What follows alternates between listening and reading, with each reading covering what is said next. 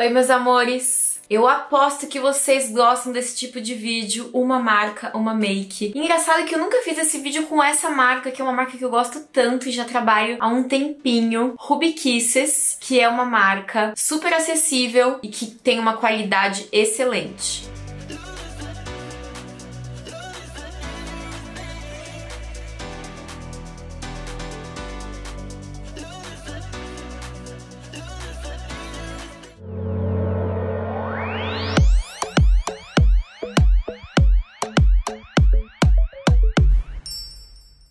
Já gostou do título desse vídeo? Então não deixe de se inscrever, você que ainda não está inscrito no canal. Curte esse vídeo e ative o sininho de notificações. Eu não sei se vocês me acompanham aí no Instagram, se bem que eu acho que eu falei dessa base aqui. Eu falei de uma base secreta, é a base da Ruby Kisses. Mas eu comentei lá no meu Instagram, inclusive vou deixar meu arroba aí, ste.lemosmakeup. Enfim, essa base, gente, era segredinho, mas ela foi lançada e eu fiquei apaixonada. A minha cor é a 240. Eu achei que o tom ficou muito bom em mim. É uma base leve, só que ela é mais sequinha.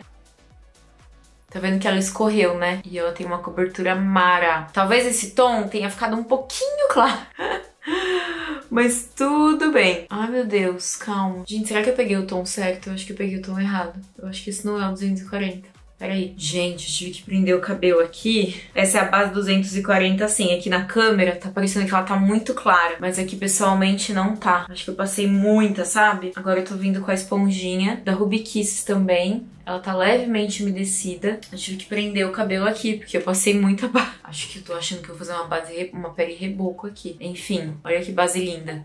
Vou dar um zoom aqui. Ai, que mara! Então, passei com o pincel e aí depois eu vim com a esponjinha pra dar acabamento. E ela tem esse efeito mais mate, só que ela é uma base mais leve, sabe? Meu corretivo da vida na versão acessível é esse aqui da Ruby Kisses. Ele é mara, mas tomem cuidado porque ele é um pouquinho mate. Eu não sei se vocês estão acostumadas aí com corretivos mais mate. Eu não aconselho ele para quem tem muitas linhas, para quem tem a, pele mais madura aqui nessa região. Eu uso a cor 25 e olha como espalha rápido. Nossa, já sou outra pessoa aqui. Vocês vão ver depois que eu fazer a sobrancelha. Tem um produtinho, Mara, que eu vou indicar aqui pra vocês. Peguei um lencinho umedecido pra limpar o cabelo, que eu sujei de base, e a sobrancelha. Eu vou passar aquele gelzinho de sobrancelha, e aí, pra não ficar tudo esbranquiçado, eu tiro. Mas antes de passar o gelzinho, eu vou selar o corretivo, e eu vou usar o Under Eye Powder. Essa aqui é a cor 10. Esse pó da Ruby Kisses é super fininho. Nossa, eu não falei uma coisa muito, muito, uma informação muito importante. Nós temos cupom de desconto no site da Ruby Kisses. Da Ruby Kisses da ProArt e da Kiss New York. Estelemos 15. Vou usar aqui a esponjinha da Mari Saad para depositar o pó. E eu vou depositar só na região da olheira, tá? Eu não vou depositar no rosto, porque o, a base, já tá vendo que ela tá quase totalmente seca. vou passar um pouquinho só na testa.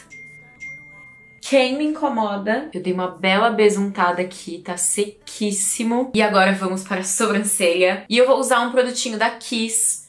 Só deixa eu dar um, um overview aqui. Para quem não sabe, Ruby Kisses é uma marca do grupo Kiss New York. Então, não podemos chamá-la de nacional, mas é um importado acessível. E aí, nesse vídeo, eu também vou usar coisas da Kiss, tá? Esse produtinho aqui é uma pastinha para usar no cabelo. Porém, a Anvisa liberou glórias a Anvisa liberou o uso também na sobrancelha. Então eu vou usar na sobrancelha porque fica incrível. É um dos poucos produtos que duram na minha sobrancelha. Ó, é esse aqui, é de Fixer. Essa aqui é a embalagem pequena e essa aqui é a embalagem grande, tá? Esse aqui tem cheirinho de melancia e esse aqui tem cheiro de flor de cerejeira.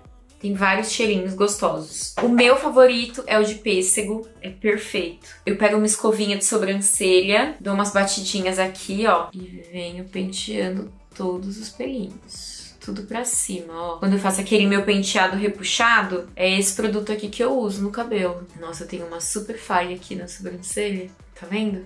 Sobrancelha levantada, e agora vamos para o contorno. Eu vou usar essa paletinha aqui de contorno. Paletinha não, né, meu povo? Paletona. e eu vou pegar esse tom que é um pouquinho mais acinzentado. E um pincel da Macrylan ST1. Eu coloco assim meu lábio pro lado. Eu gosto muito de diminuir um pouquinho da minha testa com o contorno. Eu tenho bastante entrada aqui, ó, tá vendo? E aí eu sinto que quando eu faço isso, dá uma impressão de que minha testa é menor. Ai, gente, contorno é mara, né? Contorno é vida. Vou tirar aqui o excesso do pó. Vou aplicar o iluminador e eu vou usar essa paletinha. Esse quarteto, né? Vem um iluminador e três tons de blush. Esse iluminador aqui, ele é bem acetinado.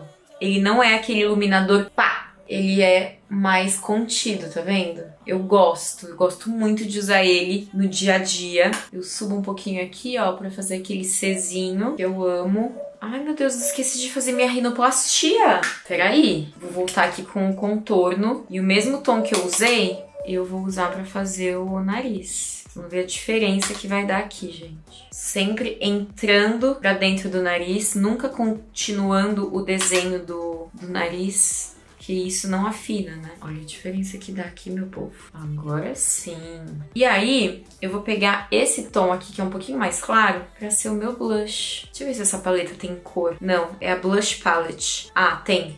Living Bear. Essa cor aqui, ó. Living Bear. O pincel que eu tô usando pra aplicar o blush é o F14 da Da Makeup, maravilhoso. Só tem que tomar cuidado que ele é um pouco grandalhão, mas ele é incrível. Para os olhos, nós vamos usar essa paleta aqui Biconf. Eu vou começar com esse tom aqui, que é bem clarinho. E eu vou passar aqui na pálpebra, que eu quero fazer uma maquiagem mate. Tem que tirar o excesso do corretivo, viu? Que fica na pálpebra. E agora, esse tom de marrom, que é um pouquinho mais quente. A gente vai começar a aplicar só aqui no cantinho externo. Esse pincel também é da Dye Makeup é o 132. Eu adoro esse pincel. Gente, é assim, ó, depositando e esfumando bem aos poucos, bem devagarzinho. Ó, eu não vou vir aqui pro começo do olho, eu vou ficar só aqui no finalzinho do olho. E aí eu arrasto aqui pra fora, até sair essa marcação. Eu vou pegar esse tom de marrom mais escurão e com um pincel mais fininho, menorzinho, cotoquinho, P15 da Macrylan, eu vou intensificar esse esfumado bem rente aos cílios aqui, ó. Vou ficar bem aqui no cantinho, ó, bem na minha, de boa, fazendo meus movimentos circulares. Quero que o foco seja